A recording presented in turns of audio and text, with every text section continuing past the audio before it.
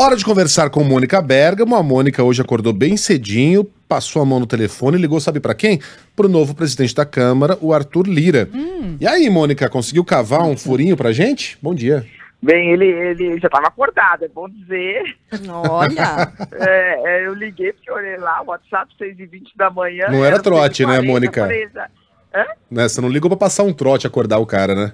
Não, nem, nem acordei, nem, nem, nem acordei. Mas enfim, Megali, é, a Câmara dos Deputados, o que, que ele me contou aí? A Câmara dos Deputados pode votar ainda amanhã a urgência para o projeto de autonomia do Banco Central e, portanto, se aprovar a urgência, amanhã, na quarta-feira, votar o projeto que dá autonomia ao Banco Central, um projeto alinhado com o mais puro liberalismo e que por 30 anos ficou mal parado na Câmara, no Congresso, né, uh, sem consenso para ser aprovado.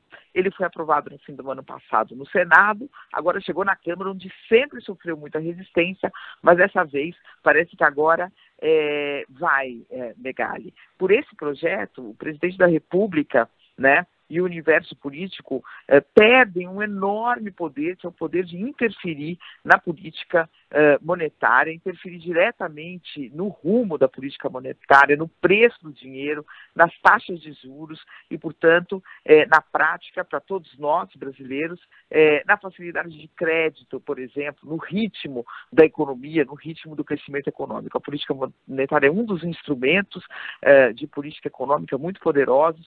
Né? Há muito tempo o Banco Central já vem agindo de forma autônoma, mas sempre o presidente da República teve o poder da palavra final final de demitir ou não é, a diretoria do Banco Central e de, portanto, dar uma guinada na política uh, que se está implementando quando ele assim o desejasse. Por esse projeto, que vai ser aprovado provavelmente, o presidente do Banco Central segue sendo indicado pelo presidente da República, mas não no primeiro dia de governo, Megali, e sim só no primeiro dia do terceiro ano de governo. É como se o presidente Jair Bolsonaro estivesse indicando, por exemplo, agora o presidente do Banco Central, né? Quase, é, já passados dois anos é, com um presidente do governo, dos governos Dilma Temer, né, escolhido por eles.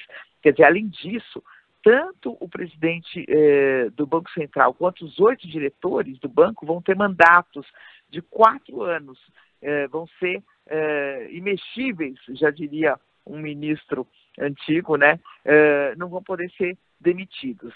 Ah, tem ainda divergências, Megali, porque uh, muitos parlamentares querem que o Banco Central seja obrigado uh, a alinhar estabilidade de preço e estabilidade financeira, ou seja, inflação, com o fomento do pleno emprego. Querem colocar isso na lei. A equipe econômica é contra, defende que só a inflação seja o foco.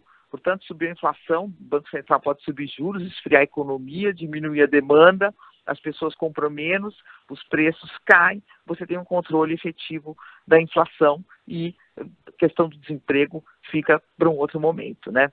Portanto, Megali, aprovada a urgência do projeto, na quarta-feira pode estar aprovada aí a autonomia do Banco uh, Central, algo que nenhum outro governo uh, quis fazer eu me recordo que na campanha de 2014 a Marina Silva era candidata à presidência e ela propunha a autonomia do Banco Central, causou uma grande polêmica, foi muito usado uh, uh, pelo PT na televisão para minar aí, uh, para que ela caísse nas pesquisas. Na época eu perguntei ao ex-presidente Fernando Henrique Cardoso, encontrei ele no debate presidencial, perguntei o que, que ele achava dessa proposta.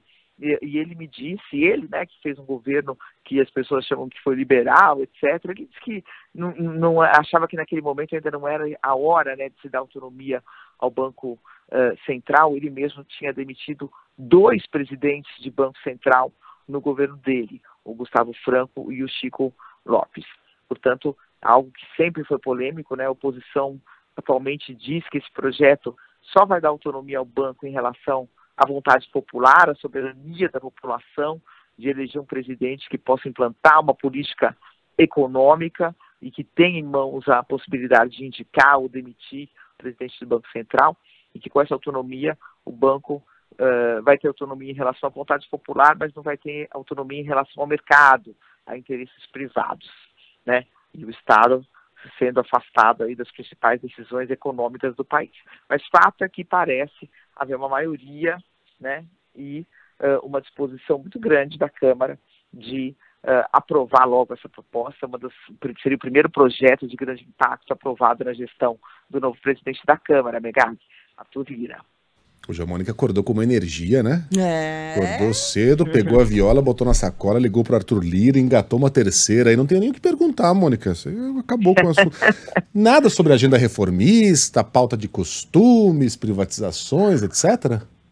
Olha, isso, eu não conversei com ele sobre isso, mas é, aparentemente não está na pauta principal, não. Hum. Nem dele, ah, não?